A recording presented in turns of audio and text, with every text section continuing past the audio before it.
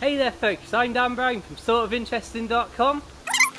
These are the Jack Pyke English Oak Camo Tundra boots.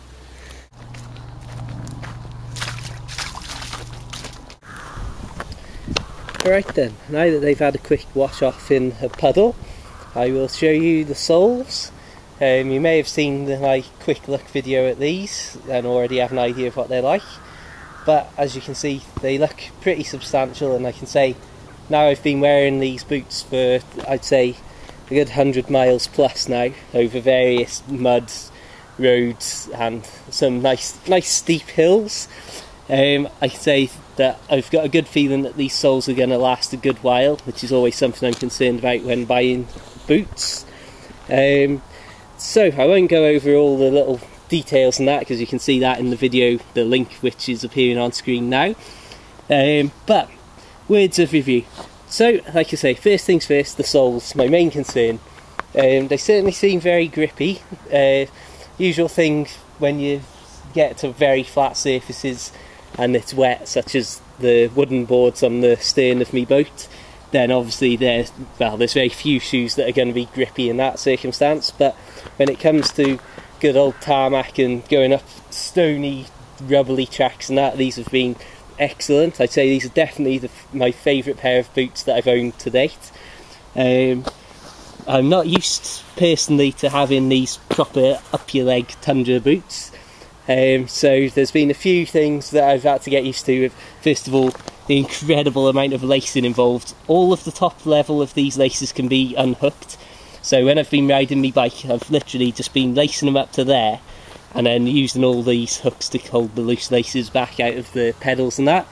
So obviously by doing that, uh, by lacing up to there, you've got a lot more freedom of movement in your ankles and that. So I've luckily been able to manage to carry on biking like a lunatic wearing these, so that's definitely a plus. And also, obviously, not having to lace them up to the top every time is well quicker if you just want to throw them on and run out to a car or have a lift somewhere, that sort of thing. Um, the next thing I will say, the laces are a little bit, when you um, feel them like that, a little bit stretchy, but once you've actually pulled them tight, they stay tight and taut and don't have too much give in them, which is definitely something that's a plus. Because I've had boots before where the laces have just basically stretched more and more as you're walking them, so your boots get looser and looser.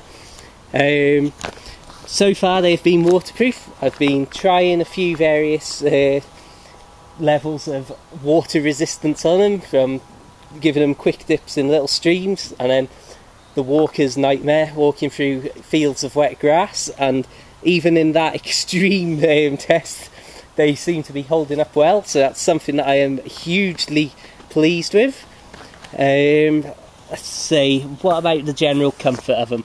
Um, like I say, because I'm not used to having these proper up your shin boots, there's definitely been a little bit of getting used to them, but after a few good walks in them, I'm already sorted and sussed. Um, it's all just a case of learning how to lace them and how tight you want them and all that sort of stuff. This is all nice and soft and pretty well padded. It's got to set, uh, it's got to be said. The only thing that I did find was, like I say, not having all this normally on my boots. Um, I find it puts pressure on the very top of my ankle in a way that I'm not used to. So I've come close to having a blister, but not actually blistered on the top of my ankle there. So everything seems all in order. Um, they're definitely exceptionally comfortable. Um, and I would say these soles feel thicker than I thought they would because I'm used to soles looking nice and substantial. I mean, I'm obviously not saying these are an inch thick or anything, but there's a lot of boots that look like they've got substantial soles, and then once you've worn them for a few moments, they all seem to have collapsed to be wafer thin beneath your feet. But these are nice and solid still. Um, so I would say that's pretty much it. It's all um, all huge positives and pluses. Give you a nice little twirl there, so you can get a general gist once again of them. Um, yeah, like I say, definitely, definitely something uh, worth looking at.